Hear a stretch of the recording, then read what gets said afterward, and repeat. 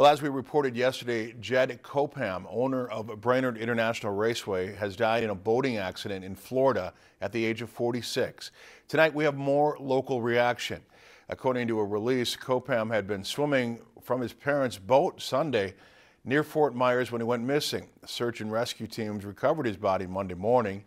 Jed and his wife bought Brainerd International Raceway in 2006, just 10 days before the Lucas Oil NHRA Nationals, which is the singest largest race at BIR each year.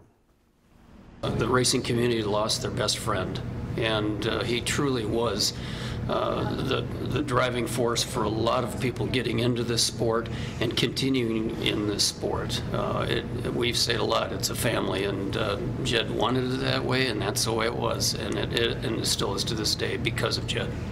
Copham was a passionate racer and a popular figure at BIR with fans and racers alike. During his ownership, he improved the track and safety systems.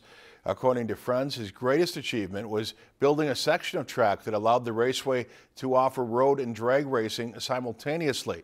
Copham will be remembered for his impact on BIR, Brainerd, and the racing community.